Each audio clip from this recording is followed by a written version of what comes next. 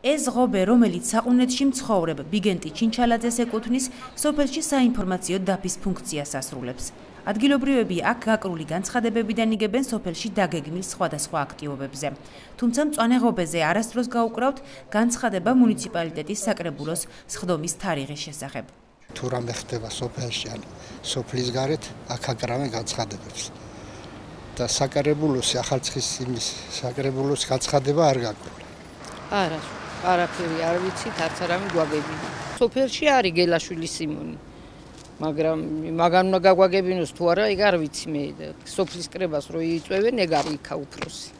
სიმონ გელაშვილი, რომელიც საყუნეთთან ერთად კიდევ 4 სოფლის წარმომადგენელია, გვიდასტურებს, რომ სხდომების გამართვის შესახებ ინფორმაციას ადგილობრივებს არასდროს აწვდის. სურველი სოფლიდან ასე ვთქვა, ჯერ არ ყოფილა ისეთი სიტუაცია, რომ ვიღაცას გამოეთქვა სურვილი, მაინც და მაინც მითხარი როდის არის და მოსულიყოს და ეთქვას მეც მინდა წამოსვლა ან დასწრება. ესეთი შემთხვევა არ ყოფილა.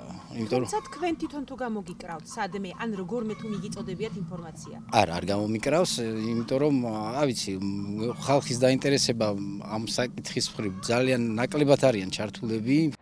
საპირისპირო საცხადებს ახალციხის მუნიციპალიტეტის საკრებულოს თავმჯდომარე გელანოზაძე. მისი თქმით, სხდომების შესახებ ინფორმაცია სხვადასხვა ფორმით მთელი მუნიციპალიტეტის მასშტაბით ვრცელდება. საკრებულოს შენობაში წარი განცხადების გამოსაკრავი ადგილები იქ ეკრება მერის შენობაში და ქალაქში ის ადგილები სადაც შეიძლება რო გაიკრას განცხადებებს ვაკრავთ ასევე თემის ოფლებშიც ახალციხის საკრებულოში ბოლოს ხდომა 15 თებერვალს ჩატარდა. თუმცა დაგეგმილი ხდომის შესახებ განცხადება ვერც საკრებულოს ფოიეში და ვერც ქალაქის ცენტრში არსებულ დაფაზე ვნახეთ.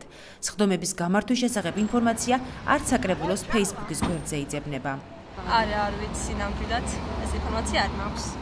მე თვითონ არ ვარ დაინტერესებული ამით და ალბათ არ ვეძებ და ისე არც შემთხვედრია და არც მინახავს აც Facebook გვერდზე და სკაუს საიტებზე. არ ვაწუდი ახლა ბატონ შეგებით. იცით თუ არა, როდის სტარტდება სხდომები? არა, არ გამიგია და არც ვიცი როდის სტარტდება. მიუხედავად საკრებულოს თავმჯდომარის მტკიცებისა, ფაქტია, რომ მოსახლეობის არაინფორმირებულობის გამო საკრებულოს ხდომები მათი მონაწილეობის გარეშე ტარდება. შესაბამისად, მუნიციპალიტეტში განხორციელებულ პროექტებზე გადაწყვეტილებებიც მათი მონაწილეობის გარეშე მიიღება.